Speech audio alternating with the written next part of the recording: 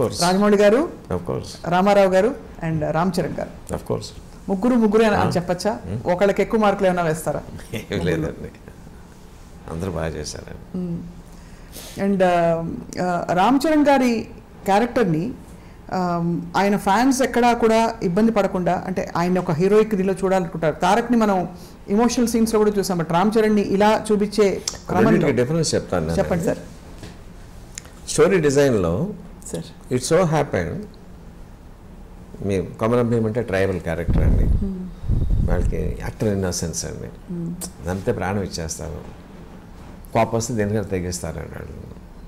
ఈ go straight into the heart అండి the moments go straight the heart but a person ఏమాత్రం కొంచెం intelligence ఉన్నా సరే there so many complexities in the character of Ram Charan they keep on appreciating him అబ్బా అబ్బా అబ్బా ఏం చేసి నెత్తిన పెట్టుకుంటారండి. యాక్టింగ్ నెత్తిన పెట్టుకుంటారండి. ఎన్టీఆర్ ఇంటి పిల్లవాడు అనమాట అండి. They take him to the heart అండి. That's the difference there both complementary they are not against each other అండి ద క్యారెక్టరైజేషన్స్ అంతే నిప్పు నీరు అన్నా చూడండి. అవునవునవును. అంటే ఈ- మాట సెంధిల్ కుమార్ గారు మనం మాట్లాడుతున్నప్పుడు కూడా ఇంచుమించు ఇలా ఎక్స్ప్లెయిన్ చేసి చెప్పారు. బట్ మీ అంత విపులంగా కాదు వారు మితభాష కాబట్టి. But he was talking about screen camera ముందుకు రాగానే ఎన్టీఆర్ ఇలా ఎమోషన్తో ఈ టేక్స్ ఓవర్ వెరాజ్ రామ్ చరణ్ మెల్లి మెల్లి మెల్లిగా అంచెలంచెలుగా you develop that love and affection ఎల్లి కొద్దీ కూడా గౌరవం పెరిగిపోతూ ఉంటుంది రామ్ చరణ్ మీద. ఈ- ఎంత పెయిన్ ఉందా గుండెల్లో? ఎంత పెయిన్ ఉంది? ఎంత దాచుకున్నాడా? ఎంత స్థితపరిచేత ఉన్నాడా? మీకు సింహాద్రిలో ఒక సీన్ సింహాద్రి చూసారండి? ఆయా చూసాను అంటే ఒక స- ఆయన భానుచంద్ర సూట్ కేసులో బాంబులు ఉన్నాయండి. ట్రైన్ ఎక్కితే train పేలిపోతుంది. Because hundreds of lives death అండి. NTR knows about it. Bhanuchandra is not aware of it. Train స్టేషన్లో ఎక్కితే కాలుస్తూ ఉంటే చచ్చిపోయే గారండి భానుచంద్ర అండి. సింపతి ఎక్కడ వస్తుందండి? సార్.